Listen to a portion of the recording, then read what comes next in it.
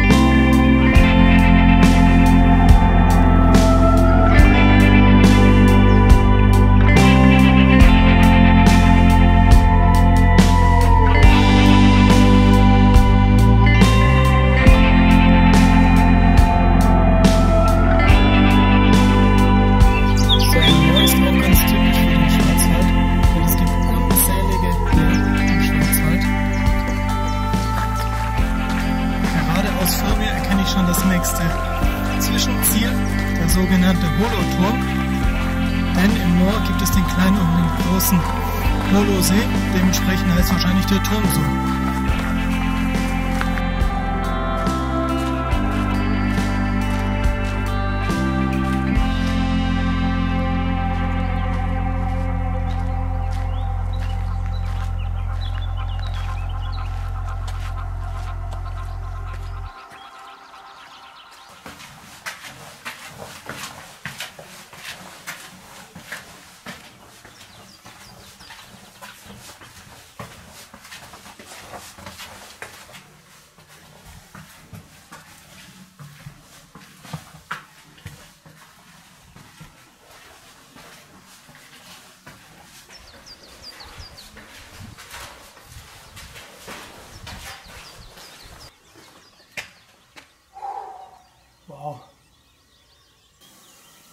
Hier auf diesem Weg bin ich hergekommen, direkt aus dem Moor.